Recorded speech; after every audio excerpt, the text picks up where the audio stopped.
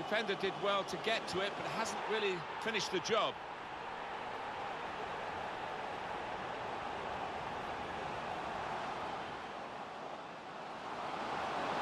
This might be it! Well, that's a fantastic...